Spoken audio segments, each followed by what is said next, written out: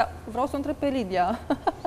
Ce feeling are pentru 2020? Eu nu știu, după ce spun copiii, băieții ăștia, fete și fetele astea, mie îmi vine să spun plapul masă, eu ridic să o dau jos, o ridic să o dau jos, o ridic să o dau jos. Deci, din punctul meu de vedere, munca e foarte importantă, individual. Dacă fiecare individ, la nivelul lui, va încerca și va putea și va schimba, nu că va încerca, va schimba ceva, se vor mișca lucrurile. Degeaba trage, știi, carul ăla tras de, știu că racul și o gâscă. Nu. No. Cam asta este la nivel individual, dacă vom lucra, vom, vom face lucruri frumoase.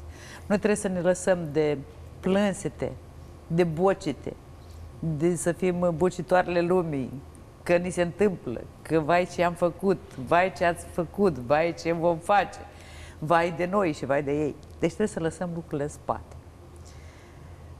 Uh, din punct de vedere, eu știu că fug de previziuni, dar am să fac.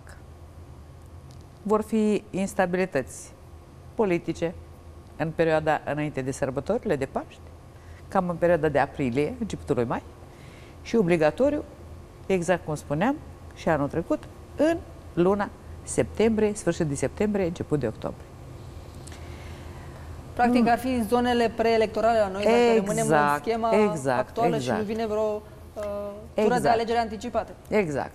Că vara știi cum e, v-am zis eu, bancul cu cățelul care zicea că la anul îmi fac casă, dar era iarna și se chemuise mic așa și că ajung la anul și îmi fac casă. Când a ajuns vara, zice, mamă ce căsălău îmi trebuie, nu mai îmi fac.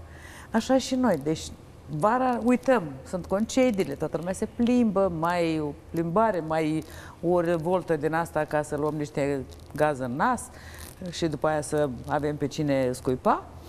Și după aceea ne dăm seama că de fapt asta nu ne ține să tui nici ieșitul în stradă, nici țipatul, nici... Trebuie să pui osul la muncă, la treabă. Dacă nu o să pui osul la treabă, lucrurile nu vor ieși chiar așa de frumușele.